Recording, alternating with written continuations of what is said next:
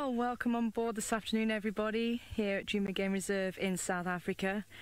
And it's absolutely wonderful to hear that we're linking with Mar the Mara Game Reserve as well. And great to hear James is with you. And Tristan is back from leave, and my name is Tara. And joining me on camera this afternoon is Senzo. Hello, everybody, and we are at the Hyena Den again. We have really tried to get be the best visual of the hyena for you, but they're just on the side where there's a lot of vegetation. There's a lovely breeze coming through, so I don't think they're going to be moving too soon. Uh, it looks like little Ntima is actually drinking from the mother, and the boat just passed out now. And it looks like they are going to be there for a little wee while. But interestingly enough, uh, is probably around the six, seven, eight month old mark, and it's still going to be taking milk from mother uh, for another few months yet. They can actually nurse up until about 18 months old, which is obviously quite a long time for a mammal. So usually they get weaned fairly quickly. If you think about the cats, they're usually weaned by about three months old, and they'll start eating solids. Um, whereas the uh, cubs of the hyena uh, could get eight months old, they might start getting a few scraps here and there if they're lucky, but they'll only really go and join mum out on uh, a foraging excursion in the evening when they're over about a year old.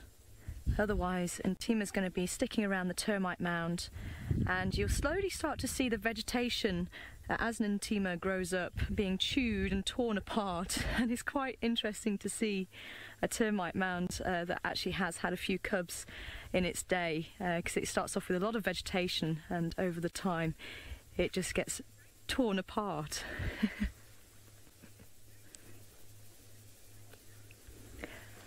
Welcome on board Blue Shark. Great to have you with us this afternoon. Asking if this is a spotted hyena, and yes, it is. But you can see even now you can see it camouflaged really well and that's why animals tend to have markings on their body it helps to break up the outline of the body so even predators if you think about leopards uh, they also have the spots of the rosettes and then obviously the prey as well it actually helps to conceal them from and when the predators are out uh, foraging for an opportunity to hunt it can help blend blend them into the vegetation so it conceals them away from the prying eyes of the prey. Now interestingly enough, hyenas are highly, highly intelligent creatures even though they don't always look it and unfortunately they have a bit of bad press but uh, there is actually quite a big uh, a dominance hierarchy uh, involved with the hyenas. Uh, so you have the females are very dominant, they're dominant over males, so it's a matriarchal society. Uh, but they've actually proven that hyenas can work together and a high ranking female is willing to learn from a low ranking female.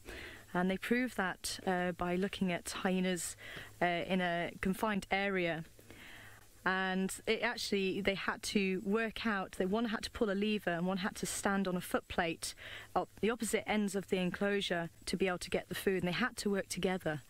And that if a subordinate female knew how this worked the more dominant female would actually be willing to learn from the subordinate. So really quite amazing creatures. So don't write hyenas off whatever you do uh, it sounds like Tristan has got a lovely herd of elephants for you, so we're going to leave the hyena, see what else we can find while you enjoy the elephants.